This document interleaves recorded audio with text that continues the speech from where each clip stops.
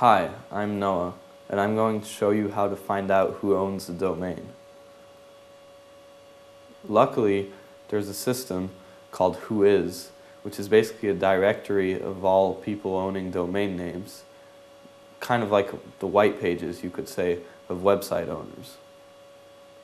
Now this is very handy because anyone can find out who owns a domain, and it can be used by law enforcement officials to combat cyberspace crimes, as well as by businesses to combat fraud.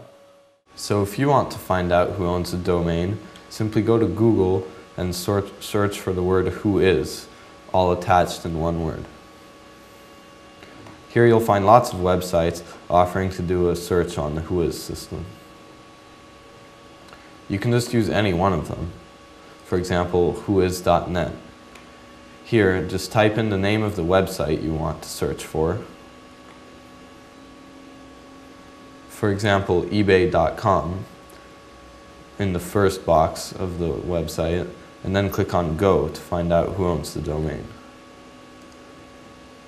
Now, since eBay is a huge company, we'll have rather complicated return of information from the Whois system.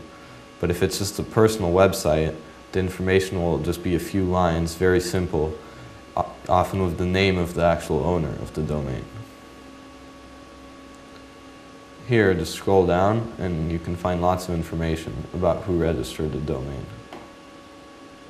Here we have the name of the company, eBay Inc., and its address in California, as well as an email address, and the fax number, and the telephone number.